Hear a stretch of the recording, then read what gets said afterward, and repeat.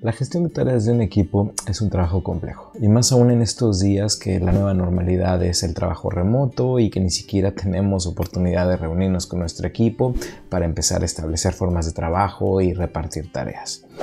Mi nombre es Carlos Castro, soy empleado de Microsoft y hoy quiero contarte cómo en muy pocos minutos tú también puedes tener una herramienta que te permita crear, categorizar tus tareas, asignarlas a tu equipo, poder visualizar el avance y calendarizarlas de una manera muy fácil, rápida y con una interfaz de usuario mucho, muy dinámica. Pero antes, no olvides suscribirte al canal y hacer clic en la campanita. Lo primero que haremos será desde Microsoft Teams seleccionar cuál es el equipo con el que vamos a trabajar, seleccionar cuál es el canal y agregaremos una nueva tab haciendo clic en este número más y seleccionando Microsoft Planner. Aquí agregaremos el nombre de nuestro plan, plan de implementación por ejemplo, guardaremos y en este momento ya, ya tenemos nuestro plan, tan fácil como eso. Pero ¿qué es lo que vamos a hacer ahora? Vamos a hacer clic en expandir nuestra tab. Lo primero que vamos a hacer será definir nuestros depósitos o buckets, que no son más que agrupadores de tareas. Y esto lo vamos a definir con base en la naturaleza de nuestro proyecto. Por ejemplo, aquí yo voy a poner nuestras fases del proyecto, ¿no? Fase de eh, análisis, agregaré un nuevo bucket que será diseño de solución, por ejemplo. Agregaré otro que será el desarrollo. Y por último, uno que será el despliegue. Una vez que tenemos nuestros buckets listos, ya estamos en posibilidades de agregar tareas. Bastará con que hagamos clic en agregar tarea, por ejemplo, análisis de página web.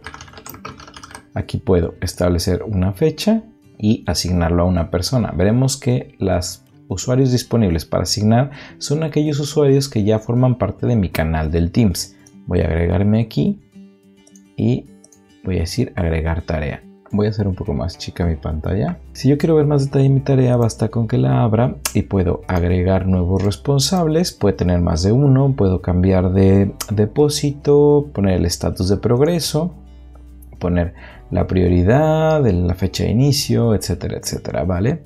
Inclusive yo podría agregar pasos. Paso 1, paso 2, paso 3 para terminar mi tarea.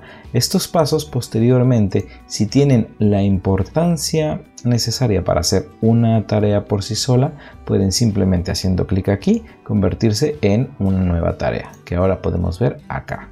Una vez que tenemos todas nuestras tareas creadas, veremos cómo podemos moverlas a través de los diferentes depósitos con solo arrastrar y soltar. Esto mismo yo lo puedo ver mucho más fácil desde una página web. Basta con que yo haga aquí Voy a agregar unas cuantas tareas, mientras pueden ir a tomar un refresco. Ahora que ya tengo varias tareas asignadas, les quiero mostrar cómo esta vista por depósito no es la única. Inclusive yo puedo ver por diferentes tipos de agrupadores, como puede ser la persona asignada, como puede ser el progreso, la fecha de finalización, etcétera, etcétera. E inclusive yo en todos estos tipos de vistas puedo mover las tareas de un grupo a otro. Por ejemplo, en este caso, si estoy moviendo una de no iniciada a completada, la tarea se completa en automático. Lo mismo pasa con las asignaciones. Si yo quiero verlo por asignado y tengo una tarea que no está asignada a mí, basta con que la mueva a mi columna y automáticamente la estará asignando a mí. Y así sucede con todos.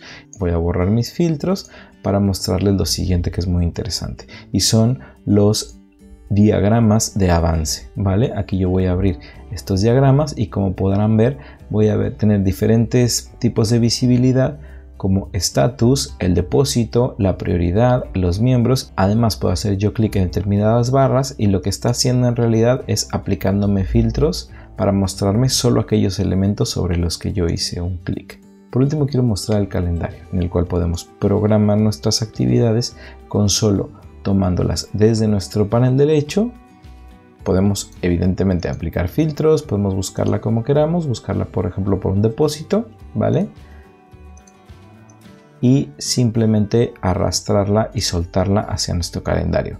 Si nosotros la pusiéramos en una fecha pasada, por tanto, esta tarea me la pone en rojo porque está vencida, pero si la muevo en una fecha futura, le cambia el color.